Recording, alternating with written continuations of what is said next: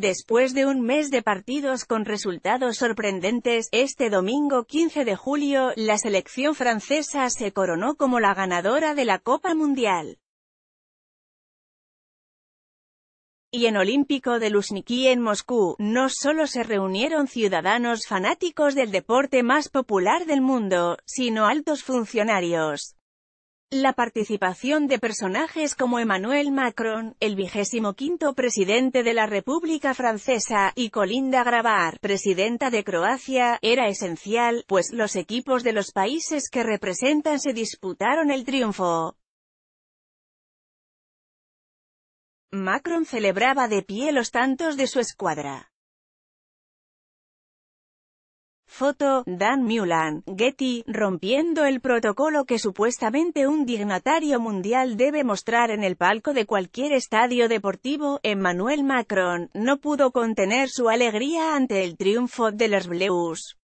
De manera eufórica, Macron celebró cada gol, como aquella vez que Sandro Pertini lo hizo con el triunfo en la final del 82 de la escuadra churra junto al rey Juan Carlos I en el Santiago Bernabéu.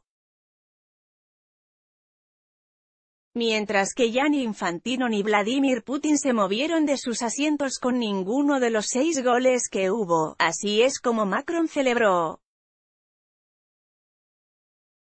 Ambos mandatarios celebraban mientras que Infantino y Putin permanecían en sus puestos. Foto, Getty, aunque no fue la única, pues Colinda Grabar, con la camiseta de su selección, en ocasiones protestó de pie ante algunas decisiones del árbitro del enfrentamiento.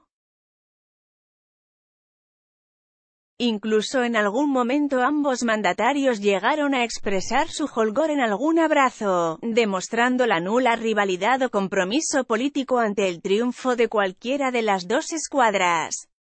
El amigable abrazo de Grabar y Macron en el palco del estadio Luzhniki. Foto, Natacha Pisarenko, AP, podría interesarte.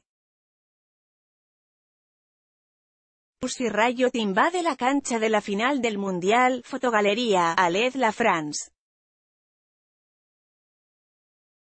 Francia, campeona del mundo en Rusia, los mejores memes de la final del Mundial, Francia-Croacia y Oriet Valentini correctora de estilo.